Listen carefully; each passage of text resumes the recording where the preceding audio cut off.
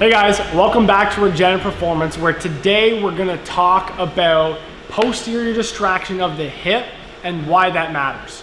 So as we sit all day long, the head of the femur and the femur in general usually gets pushed to the front side, the anterior aspect of that joint capsule.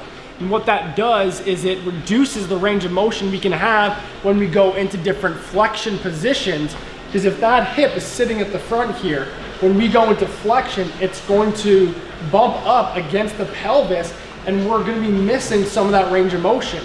So when we force a range of motion, like in a squat, we're gonna compensate by the low back tilting and then that can predispose you for low back strains, bulging disc. So that's not something you wanna do.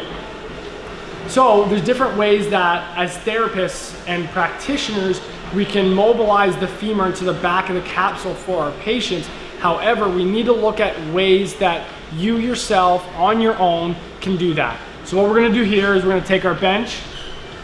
Okay, you're gonna take your knee and you're gonna onto the bench, put as much weight as you can. So I have very little weight on my hands right now and I'm trying to create this force that's coming through the femur and pushing that into the back of the capsule.